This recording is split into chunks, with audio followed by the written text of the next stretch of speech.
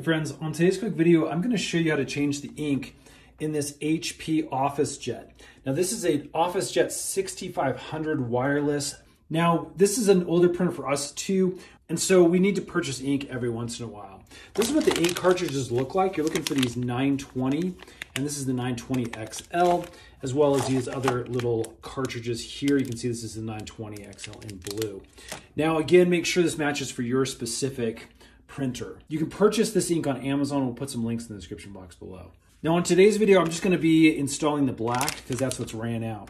So what we're gonna do is we're gonna actually open up the main shelf here for the printer. So basically we're just gonna grab there, we're gonna lift up and it comes up just like that. Obviously you can see now the main printer ribbon is visible and we're gonna get a good look at where our old ink is. When you open it up, you'll also get a good indicator of the type of ink that you need. And again, take note of your model number so you can look things up online. Now it's fairly easy to get these out on an individual basis. You basically can just lift up this little tab right here on the front and that's gonna slide right out. And as you can see, that is just bone dry, totally empty. So let's go ahead and replace that. Okay, here's the old one, and then we'll take a look at the new one. This has this little orange plastic cover that needs to be removed.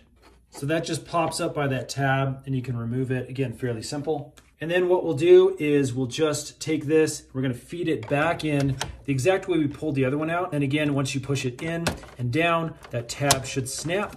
And then we'll go ahead and just close this top and then give it just a second and that is going to reset. Now, if you get an off brand, you may see this little notification. Basically it says, hey, you're using a non-HP ink cartridge.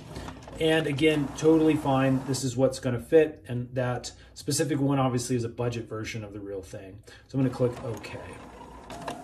That's about it, friends. You're gonna hear it kind of winding up, getting that ink prepped and then it should go into a point where it's ready to print. You'll also get a little indicator right here. As you can see, our black is now full. We may need to replace these other colors as well as they're indicating they're really low. There you go, friends. Hope that helps. If it has, hit that thumbs up button for us. Stay tuned. We're making a bunch more of these tech tutorial videos to make your life just a little bit easier.